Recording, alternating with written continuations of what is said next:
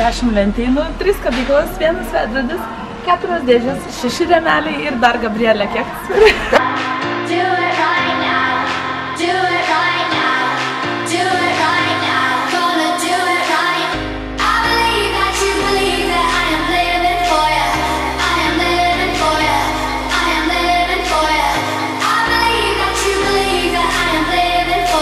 Rytas. Vakar matėt mūsų trečią dieną. Pirma, antra diena tai ir buvo pirmadienis, antradienis, bet buvo tiek darbų, kad tikrai bijojau užsimti kamerą ir e, jos neaptaškant parodyti jums, kas vyksta toje patalpoje. Tai šiandien yra jau ketvirta diena, darbai eina šiek tiek į pabaigą ir tikiuosi greit galėsiu jums parodyti, kaip atrodys top to bottom parduotuvė. Turiu savo vietinę arbatą, akinius paslėpti pavarkusiam veidui. Ready to go. Ketvirta diena. Pasiruošęs dirbti ir viską padaryti. Žiūrėt, koks, koks nusiteikimas, galėsiu tu viena tada. Aš einu gerai, iki. Jeigu yra tokia skylė, matot skylę, va tokia skylė, tai jūs tiesiog uždedate tokios košės, vadinamų gruntų glaistų, ir ją užpakliuojate taip pat kaip savo veidą nelegumus ir uždažot ir va, padam duris. Uuu. Dar reikia paminėti, kad jos medinės, jeigu ką, tai mes medinės duris cementavo. Dažysime šį mažurį.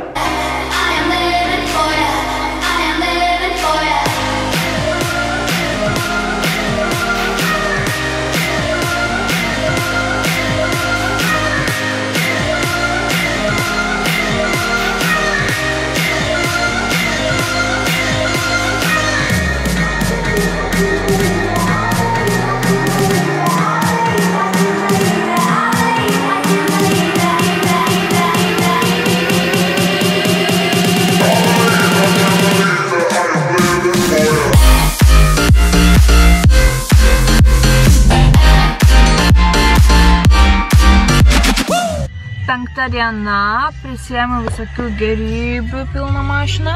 Pabiški, pabiški, mažai žingsneliais ruošiamės trečiadieniui. Penktoji diena, pasiruošęs su pilna ryto energija. Ar tu dar dabar teleką nori dirbti, ar tu juokauji?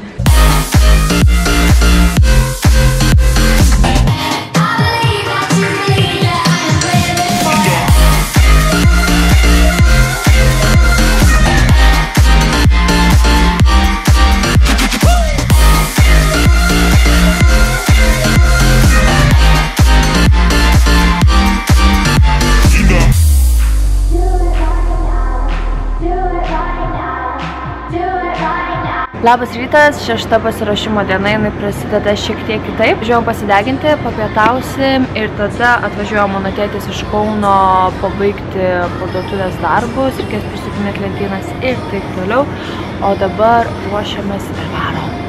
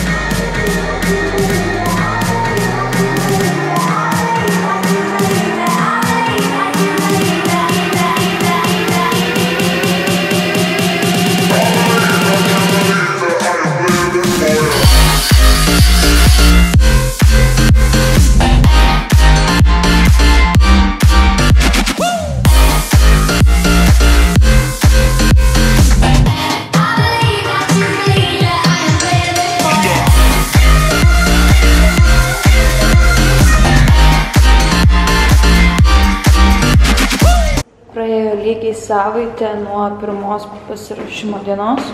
Vakar visą dienos nefilmavau, tad pamatysit, kaip pasikeitė.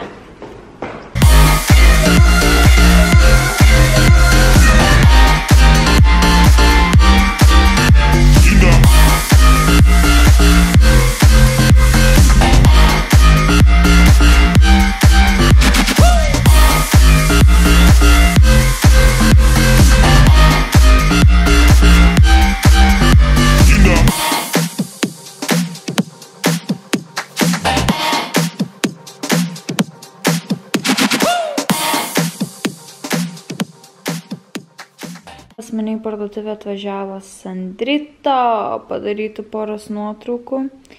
Ir va kaip gavos.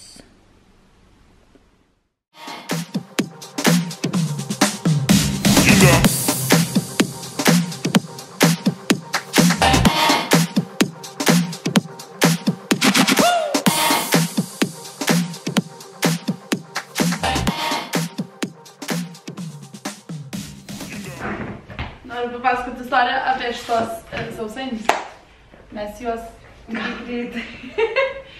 Mes juos tiesiog gavom ir sakėm, ne, netidarom dabar, gavom prieš dvi savaitės. Ir sakėm, gersim parduotuvai, kai atsidarysim kavą. Sakėm tos žodžius ir dar pačias savim kaip ir nelabai tikėjom, kada tai bus. Ir aš dar negaliu patikėti, kad ta diena išaušo. Jo, mes, tarsi, prieš dvi savaitės mes net neplanavom, kad turėsim.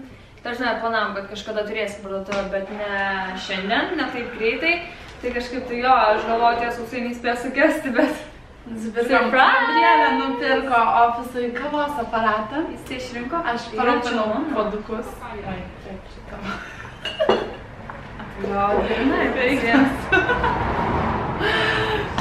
Tai ką, tai mes dabar e, pakasim pirmą kavos. Vietoj parduotuvės atidarimo kaspino, aš tau leidžiu atidaryti sausainius. Čia iš Olandijos sausainių. Čia iš Olandijos, Nikolė linkėjimai. Į sveikatą. Normalios? Nusišypsok.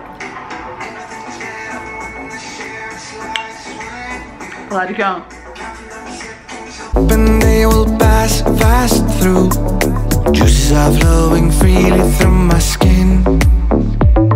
I hit this sweet, sweet spot again.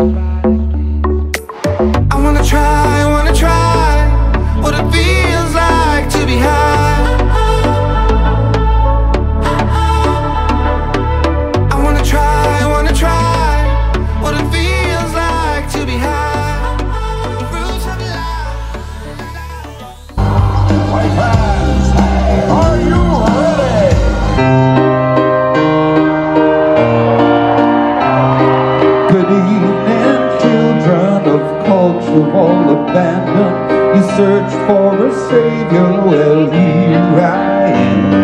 And all the best ones are dying off so quickly. While I'm still here, join me while you can. The charisma's not negotiable.